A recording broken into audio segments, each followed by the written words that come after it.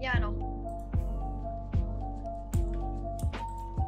I just realized I'm on the colorful team, but it doesn't matter at this point. So.